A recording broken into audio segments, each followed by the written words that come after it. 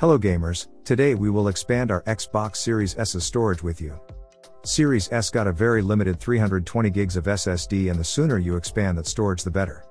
So let's plug in an external hard drive to our little beast. First, you need an external hard drive that supports USB 3.0 or better.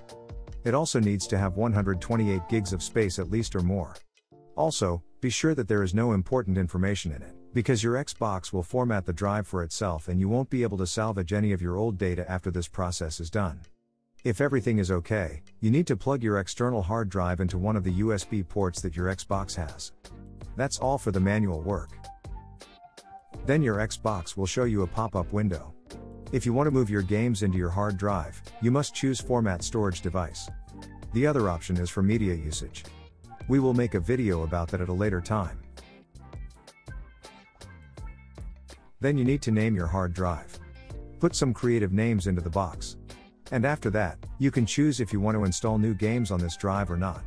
Don't worry, your Xbox warns you about the next gen games and will tell you to download them into your device's SSD.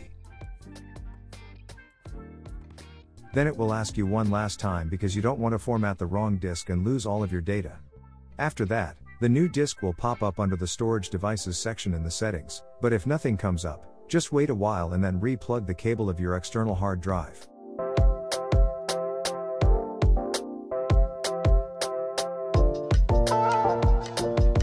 After everything is okay and you see your external hard drive, you can move your games, simply as we show you in the video.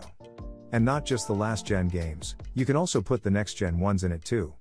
The only downside is, that you can't play them until moving them back to your SSD.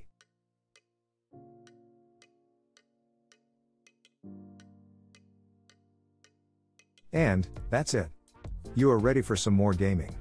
So, don't forget to drop a like if you love this video, and tell us your opinion in the comments section down below.